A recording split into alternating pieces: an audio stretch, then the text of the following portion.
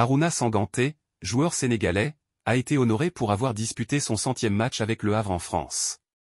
Le Havre a finalement remporté la victoire contre Strasbourg avec un score de 3 à 1, ce qui les a permis de sortir de la zone de relégation. Il est à noter que le capitaine du Havre n'a pas encore joué une seule minute avec l'équipe nationale du Sénégal et qu'il pourrait même commencer le match en tant que latéral droit contre la République démocratique du Congo. Il est également à noter que Habib Diarra et Aruna Sanganté, tous deux Sénégalais, n'ont pas participé à la rencontre.